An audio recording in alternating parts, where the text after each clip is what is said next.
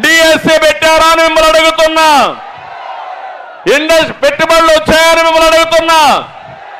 ఏ ఒక్కరికైనా ఒక ఉద్యోగం వచ్చిందా అని మిమ్మల్ని అడుగుతున్నా. ఈరోజు జాతీయ స్థాయిలో ఒక సర్వే జరిగింది.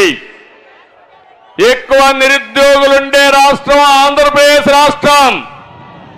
ఒకప్పుడు ఎక్కువ ఉద్యోగాలు ఇచ్చే రాష్ట్రం ఆంధ్రప్రదేశ్ రాష్ట్రం. మళ్ళీ జాబు కావాలంటే జాబు కావాలంటే. అయితే జా జాబు రావాలంటే మీరేం చేయాలి? ఇప్పటి నుంచి పనిచేయాలి ఇంకో పక్క రెండు వేల పద్నాలుగులో నేను అదే ఆలోచించాను. నేను ఒక విజన్ మళ్ళా తయారు చేశాను. రెండు వేల ఇరవై తొమ్మిదికి భారతదేశంలో నెంబర్ వన్ రాష్ట్రం కావాలని ప్రణాళికలు తయారు చేశాను. అమరావతి పోలవరం పెట్టుబడులు పదహారు లక్షల కోట్ల రూపాయలు పెట్టుబడులు తీసుకొచ్చాం. మన రాష్ట్రానికి తీర ప్రాంతం ఉంది సముద్రం ఉంది.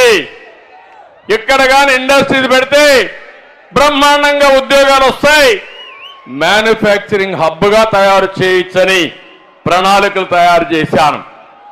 నా ఆలోచనలన్నీ రెండు వేల పద పంతొమ్మిదిలో మీరందరూ కూడా ఆలోచించారు.